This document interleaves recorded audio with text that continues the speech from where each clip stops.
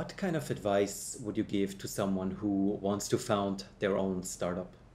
Yeah, I would advise him to, to start the, the company if he is willing to take. Of course, there are some risks, but also it's a, a nice journey and uh, there is a lot of learning, also personal development in it.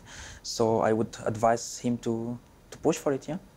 Um, I mean, there is somehow a structure that you, you follow when you want to uh, found a company, but the, the, the, the, the things inside this structure are, are quite there is, it's very difficult to find a rule because when you are pushing a new technology on the market, there was no one who did that before you, so there is no one to, to follow on.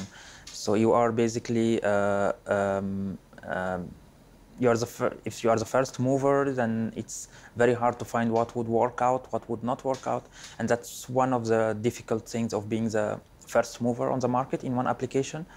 Um, and typically the second or third mover can also learn a lot from the first mover mistakes and go ahead. So that's also one of the challenges.